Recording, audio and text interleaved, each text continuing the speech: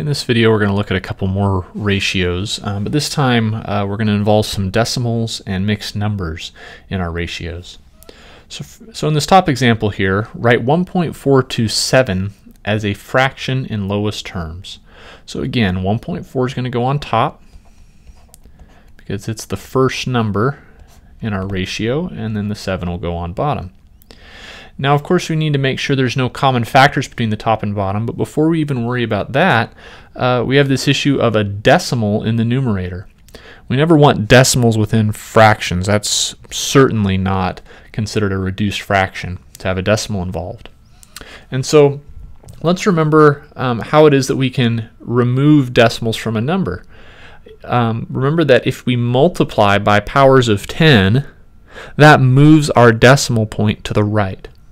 So I can multiply 1.4 by 10, and that's going to have the effect of turning 1.4 into 14 because that decimal point is just going to jump over one place.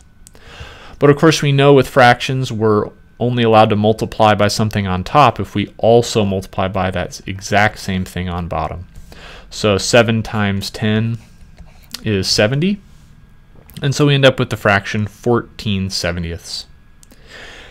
And now we can set about um, reducing our fraction from here by finding common factors for the top and bottom.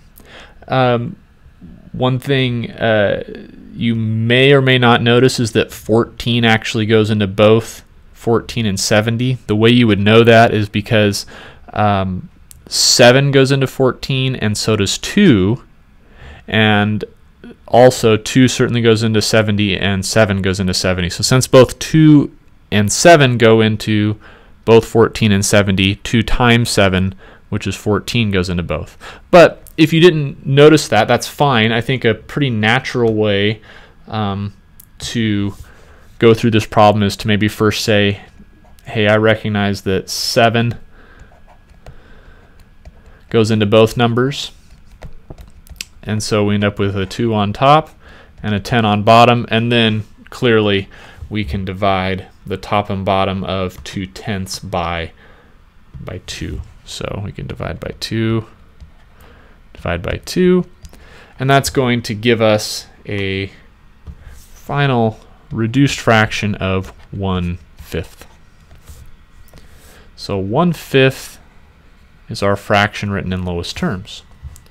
Now, this next example has two mixed numbers. So we have 2 and 2 thirds to 1 and 7 ninths. And we want to write that as a fraction in lowest terms. So again, we know that the first mixed number, oops, that was a mistake.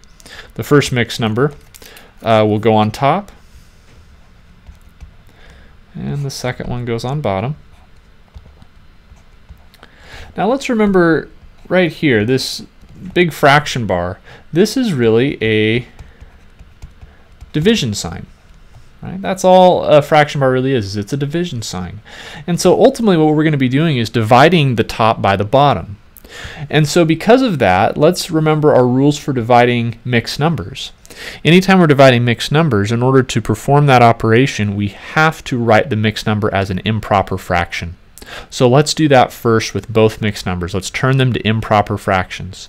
So remember the way we do that is multiply the whole number times the denominator, which gives us 6, and then add the numerator, which gives us 8.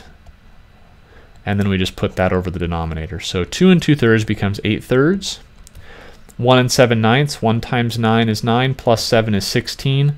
So that gives me 16 ninths on bottom. And then again, using the fact that this fraction bar here is just a division sign, we can rewrite this as 8 thirds divided by 16 ninths.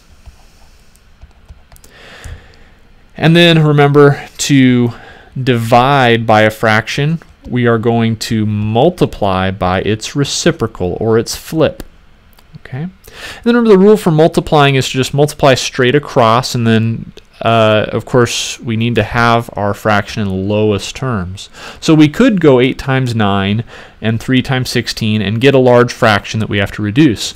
But remember, we can also make life a lot easier on ourselves if we pre-reduce. Right? Remember, that means let's go ahead and divide the the top and bottom by the same thing before we do our multiplication. So since 8 and 16 have a common factor of 8, let's divide the 8 by 8 and get 1. Divide 16 by 8 and get 2. I can divide 3 by 3 to get 1 and 9 by 3 to get 3. So what I end up with here is 1 times 3 on top gives me 3 and 1 times 2 on bottom gives me 2. So that ratio written as a fraction in lowest terms is 3 over 2 or 3 to 2.